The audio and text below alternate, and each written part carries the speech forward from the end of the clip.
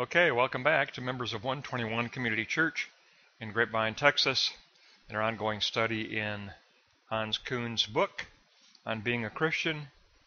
We're going to complete part two. Uh, we're going to look at pages 78 to 88. It will wrap up part two of the book. And we're going to take a look at the concept of God and the task of theology. So now we move into concept. Let's begin with block one and take a look at uh, the concept of God. The concept of God has been misused and mauled historically, says Küng, but it's a concept that cannot be given up. As a concept, it needs fresh consideration. We need to speak in a new way, referencing the Logos of God. Under conceptual reflection, God is beneath the surface reality as a depth to be grasped by faith. And it can be diversely interpreted. We pass through conceptual reflection in order to clarify our belief, giving experience conceptual expression.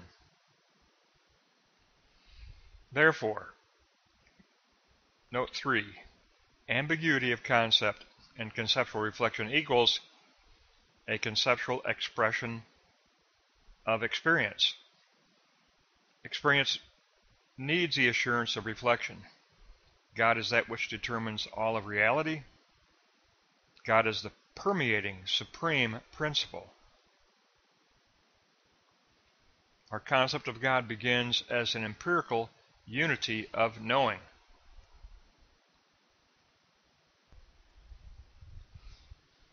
Therefore, we must purify and deepen our understanding of God. God cannot be equated with the natural processes. No truth is accepted without critical scrutiny. We presuppose the exclusion of God from socio-political power relationships.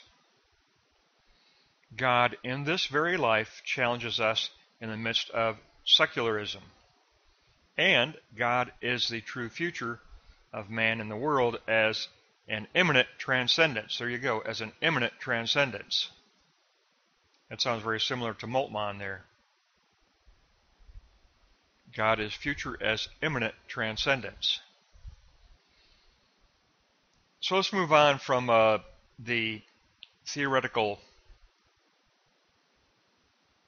principle of immanent transcendence and take a look at uh, the task of theology in block two.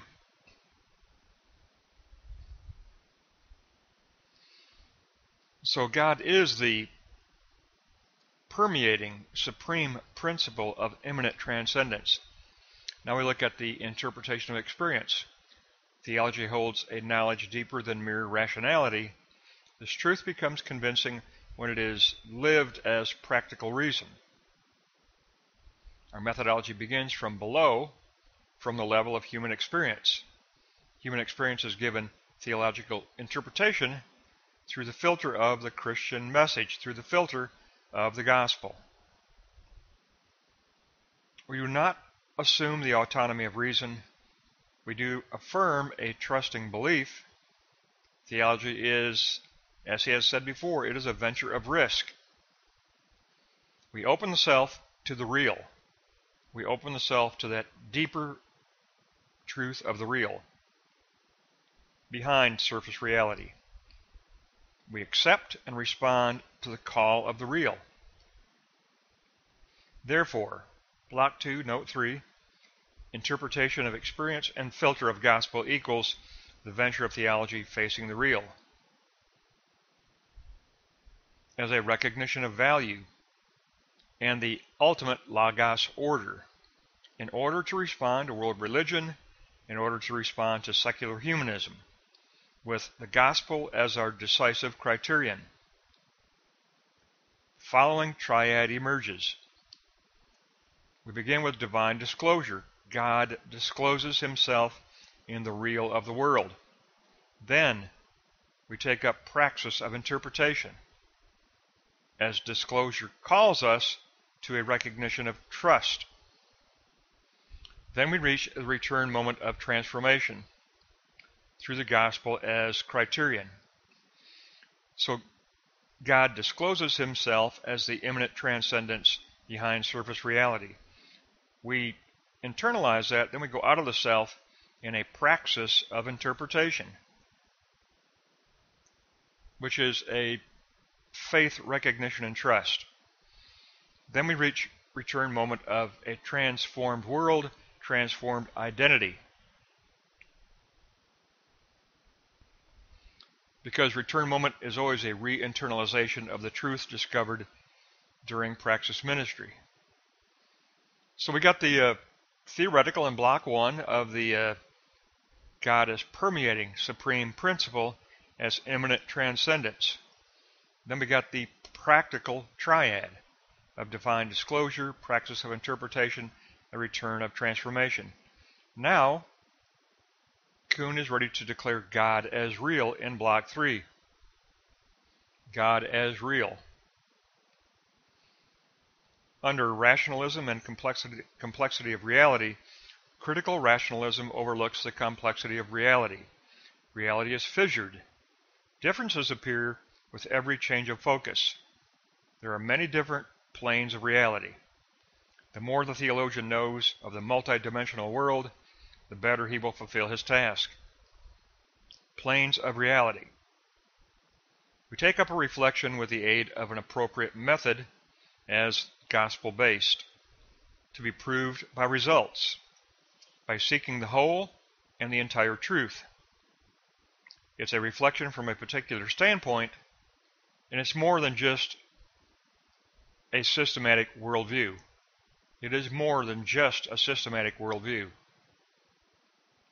It's more than a system of concepts. The kingdom of God and the reality of God is always beyond concept. We can approximate God in concept, but God is always beyond concept. So he concludes this part two with block three, note three. Reason in face of complexity and focus across the planes of reality equals a theology beyond systematic worldview. And that's because we realize that we must include critical argument, competition of ideas, temptation to doubt, the possibility of error, and openness to revision. We address the most fundamental aspect of what it means to be human, be human, and what humanity does to find an answer that we can justify before church and before society without ever, ever claiming infallibility. We never claim infallibility and we are always open to revision because our systematic worldview of concepts approximates but does never completely reaches God as real because God is beyond concept. That's what Professor Küng is telling us here. We're studying the concept of God. We're concluding that God is beyond concept. God is real. So just to recap, let's look at block one again.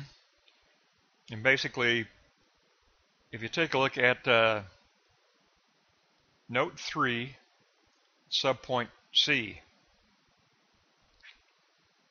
Professor Küng posits that God is the permeating supreme principle behind surface reality. The permeating supreme principle behind surface reality. Which will lead us to an empirical unity of knowing. Then take a look at uh, in block 1 all the way down to 4, note F, where he says God is true future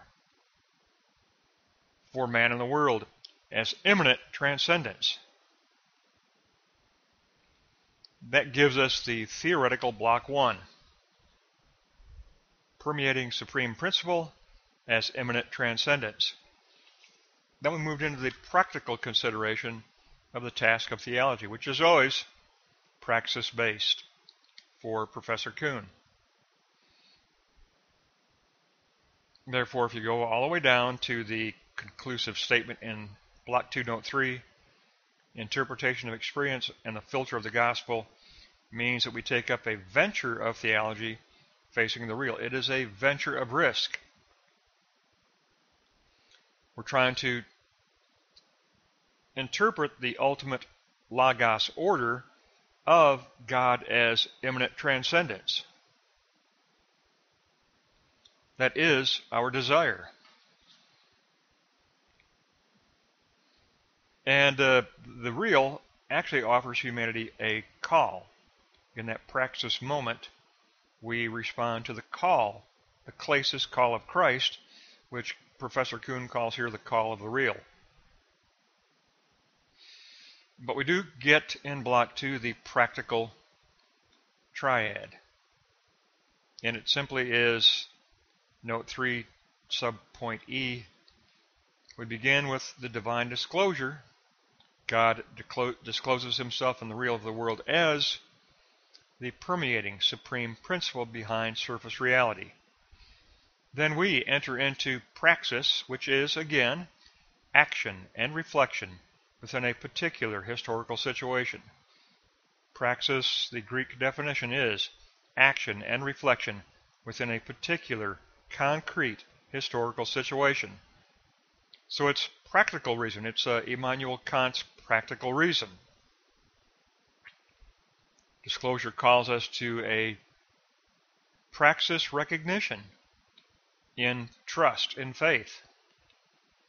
Now, by entering into that process, praxis includes going out of the self in ministry, therefore there will be a return moment of transformation, a transformative return moment when we take that newly discovered truth in the midst of ministry and re-internalize it and imprint the heart with the person of Jesus Christ. That's why he says that return moment is always gospel as criterion. It's return moment with with Jesus Christ to imprint the heart. It's always gospel as criterion. After we got our theoretical supreme principle in block one and a practical triad in block two, then Professor Küng took us on to his conclusion God as real and beyond concept. That really should be the title for block three. A God as real and beyond concept, okay? God as real and beyond concept. We are not just articulating a systematic worldview. We are forming a systematic worldview because we are forming a sign model of kingdom of God. And sign model of kingdom of God is a systematic worldview that we form in the realm of positing. So we do that, but that's not God. That is our interpretation of experience as a faith in God is real. But God is beyond that sign model. God is always beyond concept. Therefore, he qualifies worldview with that which must be included critical argument, competition of ideas, the temptation to doubt, the possibility of error, and an openness within that dialectic, an openness to revision. And it addresses the very fundamental aspect of what it means to be human, because we are addressing the real of the world and the real of self identity.